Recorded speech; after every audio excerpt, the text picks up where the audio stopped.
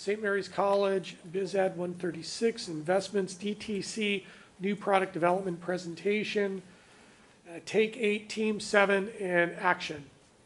So we're derivative trade fork. We have a mixed cap diversified portfolio of technology, financial services, and utilities. I'm Jacob Fitzsimmons.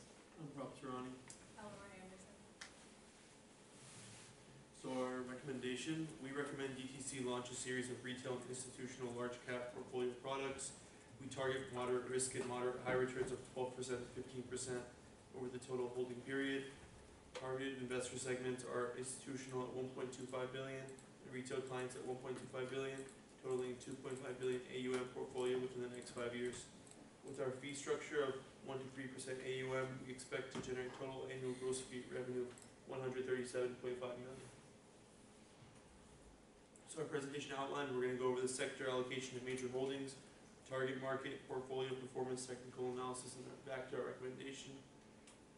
So our portfolio overview, so for our passive, it's forty-nine percent technology, nine percent utilities, thirty-six percent financial services, and six percent real estate. For our active portfolio, forty point two percent technology, nineteen point four percent utilities, thirty-three point six percent financial services, and six point eight percent real estate. And for our target portfolio, thirty-three point two percent technology, twenty-six point two percent utilities, nineteen point two percent financial services, and 21 21.4 percent real estate. Our largest holdings for passive are uh, Apple, Visa, Intel, Verizon, and Mastercard.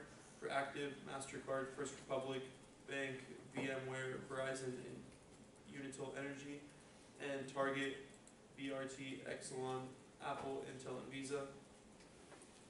So for our target market, it's a 50-50 split. Target of 2.5 billion per portfolio within five years. Our desired holding periods of five plus years for services and 15 plus for institutional. And we're targeting investors desiring stable long-term returns, for example, 401ks, ETFs, and IRAs. So our fee structure for the target was 2.5 billion assets under management with a fee of 2.5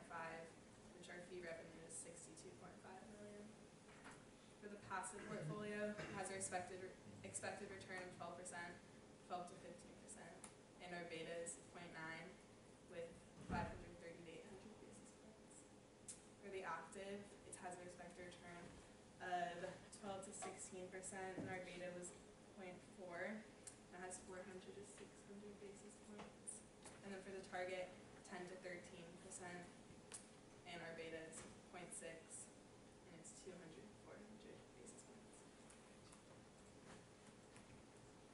So we did a fundamental analysis valuation using perpetuity, Gordon growth, multiple, and DCF approaches to find our intrinsic valuations and find whether it was at a premium or discount based on intrinsic value versus the current price. And we had eleven, uh, no, seventeen buy recommendations and eight sell. And we aggregated the weight uh, by whether it is a, at a high premium versus the stock's beta. And so these are the key ratios for all our stocks in the portfolio.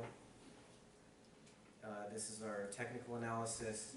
When the ten crosses the fifty, that's your alert. When the ten crosses the thirty, that's your signal to either buy or sell the stock. And this is the results of said analysis. We averaged thirteen point nine million per year, giving us a total return of forty-one point nine million for our portfolio. Uh, our recommendation is we recommend DTC launch a series of retail, institutional, large cap portfolio products. We we target moderate risk and moderate high returns of twelve to fifteen percent over the total holding period. Targeted investor segments are institutional, one point two five billion, and retail clients, one point two five billion, totaling a two point five billion assets under management portfolio within the next five years. With our fee structure of one to three percent AUM, we expect to generate total annual gross fee revenue of hundred and thirty-seven point five million dollars. This is Eleanor Anderson, our global portfolio manager, Rob Tarani, our senior associate global equity analyst, and I'm Jacob Thesseus, our senior global equity analyst.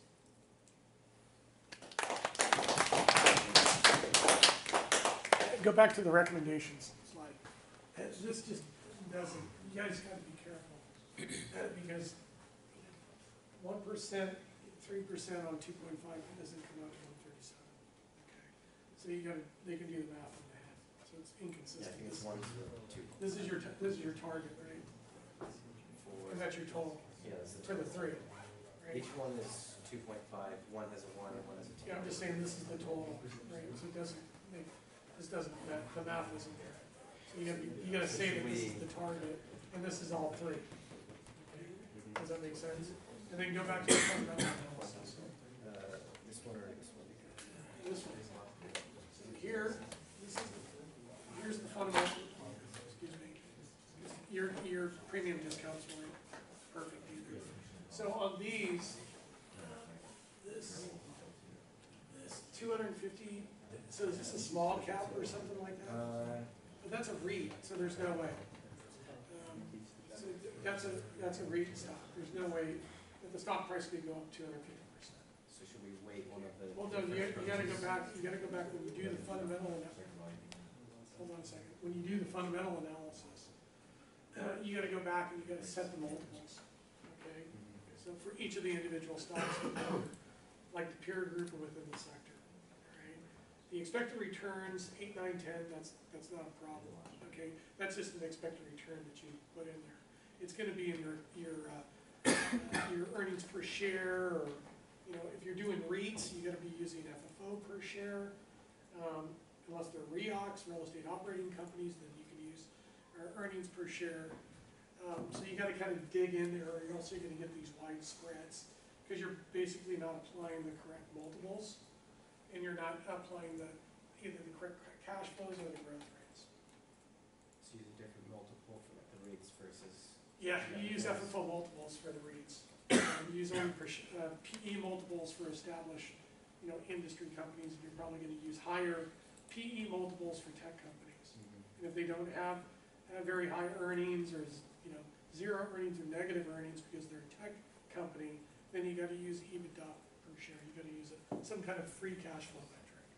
And then these will all, this will all come out of.